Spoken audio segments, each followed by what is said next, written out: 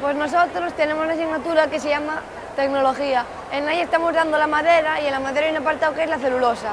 Bueno, la celulosa es un, es un producto orgánico muy abundante. El ejemplo más claro de la celulosa es el algodón, con un 90% de celulosa.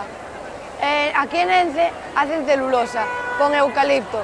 El proceso es, primero cortan, y que quita, cortan el árbol, luego con caminos especializados los llevan hasta ENCE.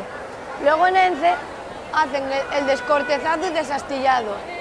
Luego blanquean la celulosa con cloro para que quede blanca.